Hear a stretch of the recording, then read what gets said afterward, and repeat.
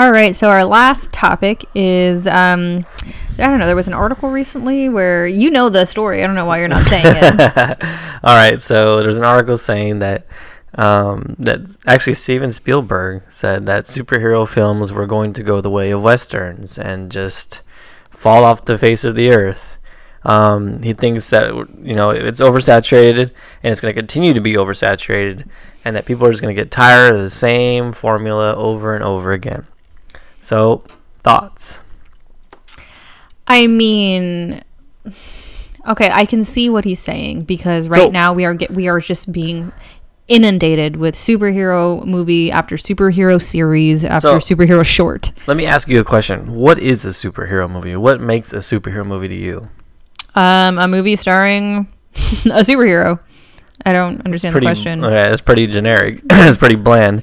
But I mean, I think there are different types. see, but I'm thinking that the movies that they're putting out now are not just cliche superhero movies. Like you have Ant Man, which I believe was a comedy. hmm Captain America, which I feel is like an espionage spy film. Yeah, I feel like they're, They're putting definitely out fall. different genres. Yeah, they they fall yes, in different they genres. include superheroes in them, Mhm. but they're not, you know, the like the Dark Knight trilogy. That was more of like a hyper realistic detective drama. crime drama. Yeah, exactly. Yeah. hmm Um, and you know, it goes on and on. You have Thor with the Norse mythology Yeah. Um, type film. You've got Yeah. So they have a a big. and you have the classic cliche superhero films like Age of Ultron, Avengers, those types of films. yeah, very comic booky.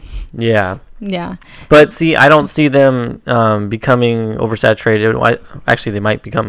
they are going to become oversaturated. But I don't see them dying out like the like the westerns did. Just because, uh, you know, westerns are a little bit more one dimensional. I thought like Mm-hmm. western, you're you're in the wild wild west, and there's only so many stories you can tell. Yeah. But you can go anywhere with comic book culture. Really?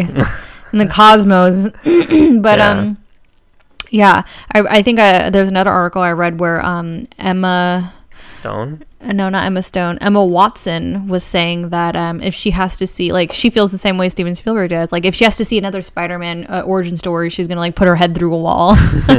Which i feel her on Well, because that's all of spider-man yeah. Oh god I do not want to see another Spider-Man origin story. I don't care about his origins. They're not going to do it anymore. Good, they with shouldn't. The new one coming out in 2017. Yeah.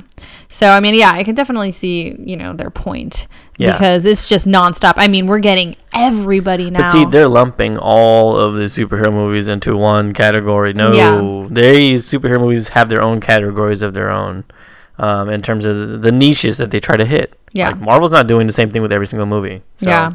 And DC, the DC uh, Oh, they're gonna go totally different movie different. universe is going to be completely different from what we're getting with Marvel. So Yeah. yeah, I agree. Not with uh with them, with you.